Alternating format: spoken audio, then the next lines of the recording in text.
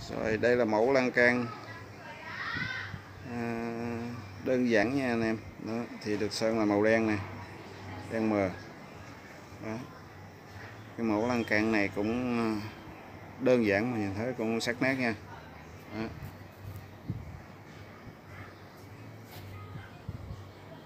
đây là thành quả mẫu à, lan can sắt của ban công.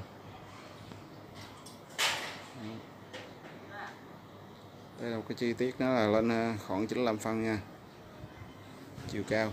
Thì anh em thường thường à, để ý là cái lan can của đây người ta sẽ làm độ cao đó 95 phân nó mới đủ độ an toàn nha. Thì à, mọi người cảm thấy lan can à, sắt của Biên Bình Định làm có đẹp á, thì hãy đăng ký kênh ủng hộ cho Biển Định nha. Và hãy nhớ cho Biên Bình Định một like và một chia sẻ nha anh em. Đó. Đây đây là mẫu lan can này đó rất là đơn sơ rất là đẹp. Không cần phải rùm rà nha anh em. Đó.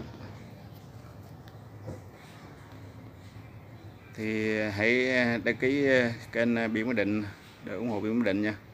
Biển Bình Định sẽ lên nhiều cái mẫu mã màu sắc. À, về lĩnh vực lan can sắt hoặc là thi công sửa chữa sân nước nè hoặc là ừ, làm gạch rồi nha mọi người. Sửa chữa nâng cấp nhà nha.